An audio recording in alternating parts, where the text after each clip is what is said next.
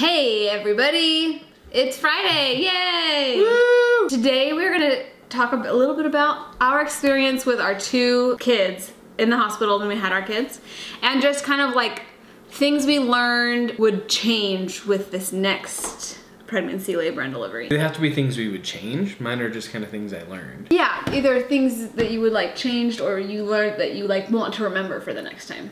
So one thing that I really want to like the number one thing that I want to work on because Piper's delivery was a lot more painful than Porter's. And so I was in a lot more pain, but I wasn't ready for it with Piper's. And so this time around I want to make sure that I tell the nurses who are working with me like how I want to become like how I want to be standing or sitting. So they strap you up to all these monitors, baby monitors. They have your IV in and all these things, and you're laying like on your back in a bed.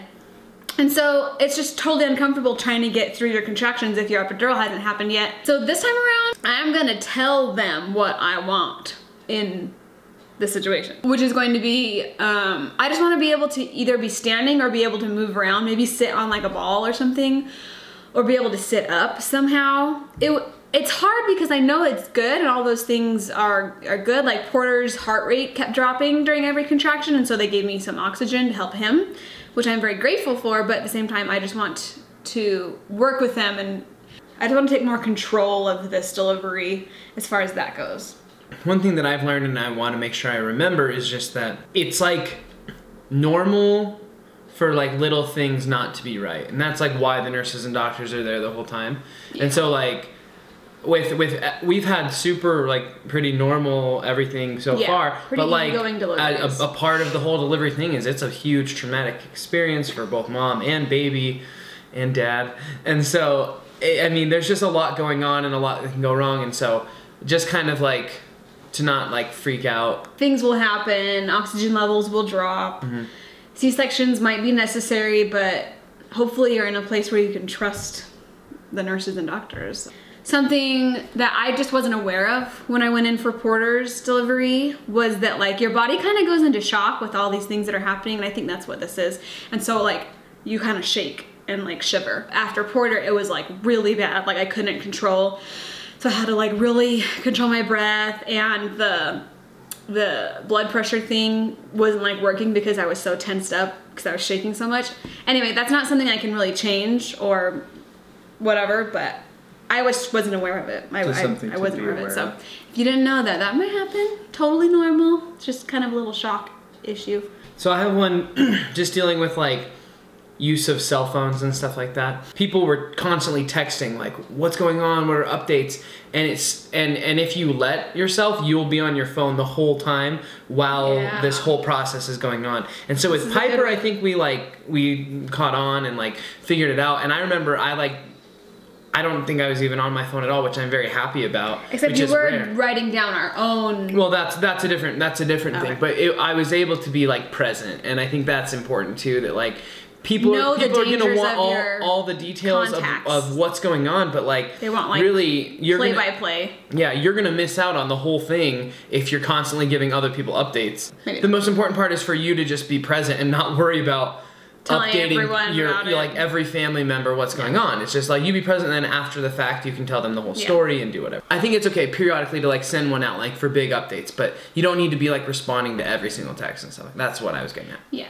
Anyway, But tell them about like what you do, what you did for Piper, like on Piper, I just took notes on my notes app and my, on my iPhone just of Times what time we got to the hospital and when we left the house and Just do the times so you know, because everyone's like, "What time did you go in? And what time did this happen? And how long did it take you? How long was your delivery?" yeah, how long did you push? If you have like, it's such a crazy world, and especially if you go in like in the middle of the night, just to write down the times is helpful for later documentation. I don't know, every, every hospital is different, but for me, if they offer to take the baby to the nursery at night, um, and keep them all night, and if you're like good with formula and like letting them feed the baby formula, I am like definitely going to do that because your sleep time at the hospital is super important before you go home. Let the nurses help you out, and I know it's like a brand new baby and you want to like soak in all that time, but after delivery you're so tired. So tell people no, they can't visit. Tell the nurses yes, take your baby and just sleep.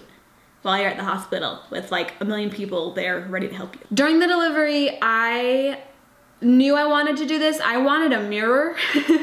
and like a lot of girls or people just get grossed out by that, but it was super helpful for me because I could like see the baby coming out and it was really motivating because I can see like when they get close or when they like come back in. anyway, I really like the mirror. If you didn't know that was a possibility and you think you might like it, just try it out because it might work for you too. It's really good. Um, another tip slash thing I learned. The, so the first time with Porter, the doctor stitched me up because I tore a little bit. Um, but he didn't like talk me through it. And then the second time with Piper, oh, did I not tear? I don't think I tore with Piper. Mm-mm. But he was still a lot better. So just about just explaining like, what's going on and yeah. what's going on down there. Like, it's so confusing and there's so many things happening like when their placenta coming out or whatever. If you're like me, I, I want to understand things more and so I'm definitely like if I want to know like the details of where the stitches are so that when I'm at home and I'm trying to like heal and recover, I can know myself. Like I can know my body after the baby, mm-hmm. which is kind of a big thing. And I, eh, you remember with Porter, I was like asking the nurses everything that was going on, like what the different machines did and why they were doing this and this and how it measured it. And I think they like it. And honestly, like it's a service business. Like they're they're providing a service to you, and so they give you better it's customer service too if like you're engaged and like curious yeah. and stuff. That's that's something. And I once they know that you like it. to be informed, they'll like for sure. informed. And so yeah, I I was asking the nurses everything, and they were so fun and cute and stuff. So. So one funny part about Piper's, my labor with Piper, was that I was in a lot more pain than I had been with Porter, and I was just very vocal about it. Zach kind of got the brunt of it. like we hadn't, with Porter, we hadn't gone through this, and so he didn't really know, and I didn't know how, like what Zach's role was in my contraction dealing with my contractions. With Piper, Tara was just like, just, just like in the movies more. when like you know the the like, wife in labor is like yelling, yelling, at you you did this to me. I, I, didn't say that. she didn't say that but it was like that kind of anger and, and I was like, like, help me! she's like do something Zach. Don't just stand there. And I was just like I don't know what to do. Like, if I touched her back, she's like, don't, don't touch my back. Like, and like, okay, I'm trying to do something, like you're saying, but nothing is right. And like, I would say something, and like, she's like, don't say that. She, he would ask so me like, mad. how how are you? How are you? And I'm like, don't ask me how I am. Tell me I'm doing good. so anyway, maybe if your relationship is similar to this, just talk through it, maybe and have well, a game plan a little bit. And I don't, I don't think that necessarily, but just I like. I kind of wish we would would go to one of those classes where they, you guys, the husbands or partners, learn how to like massage backs or good like pressure points that would help and things like that. Like we were already planning on getting an epidural, and so you forget that there's like contractions that happen in order to get you to the point of an epidural. Yeah, I think just men need to be beware or be yeah, aware. and be very like, concerned. Like, don't laugh when your husband, when your wife is yelling like a crazy person. Did I like, laugh? Well, I could tell you thought it was kind of funny. I, I mean, thought you were, I thought you were acting ridiculous, and honestly, I still kind of feel this way that you were like getting a kick out of it. Well, yeah, see, bit. and I wasn't.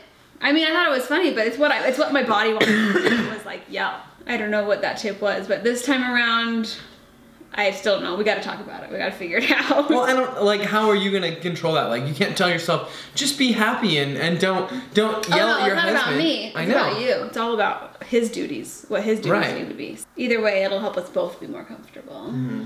But most importantly, last of all, the special time between like the beginning of your delivery, labor delivery, and like when you go home with your baby is like the best my like my favorite memories of all like my favorite memories in the whole world like you being off work or whatever and being with this new little person that was just inside of you and now they're outside of you and it's the best and so just enjoy it enjoy like the the quiet and that time the sounds and the smells and the little yeah. baby not like the good smells like and the like little new clean the awkward clean. diaper changes and if you can, I know uh, we've had very, very good and easy delivery, so I know it's not like that for everybody, but enjoy the time as much as you can because it's super special. Would you agree? I agree. but yeah, so that's those are some tips and memories and things that I'm going to change for this next delivery. And we'll see how it goes. We'll have to do like an after one and talk about these same things and see like how it went. Um, but thanks for watching, guys. We hope you have a great Friday and weekend, and we'll see you on Monday. Don't forget to subscribe. Oh, real quick, I guess, before we end. I'm trying to get to 10,000 subscribers by the first of the year. And that's like 3,000 subscribers away. but with your guys' help, sharing, liking, subscribing, um, if you haven't subscribed, just click the red button below. If you're somewhere like on Facebook watching this video, click over to YouTube. It's just a, it's through your Google account. And so you just sign into your Google Gmail account if you have one, and that's your YouTube account as well. Um, so subscribe and help me get to 10,000 subscribers. It's a big number, but I think we can do it. I think so too. Anyway, this is really the end. We'll see you on Monday. See ya. Bye.